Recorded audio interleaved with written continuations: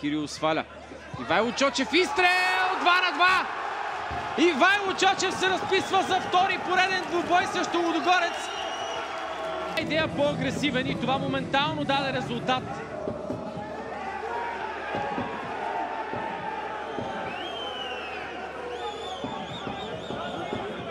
Отлично изчака топката Ивайло Чочев. от началото на матча. Нещо, което само потвърждава, че ставаме свидетели на матч, който не е често накъсван. А тук Ивайло Чочев, ако преди малко беше спряно Димитър Шейтанов, в този случай открива резултата. Ето на Чочев.